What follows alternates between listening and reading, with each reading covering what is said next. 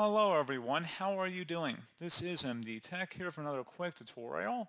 In today's tutorial, I'm going to show you guys how to run Microsoft Word as an administrator or with administrator privileges.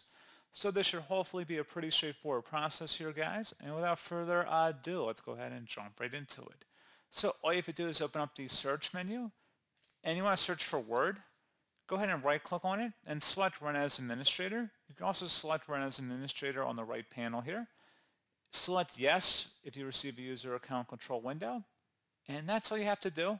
If you had a file on your desktop somewhere, you just could just right click on it and select Run as Administrator from the drop-down menu as well. And that's pretty much it. So as always, thank you guys for watching this brief tutorial. I do hope I was able to help you out, and I do look forward to catching you all in the next tutorial. Goodbye.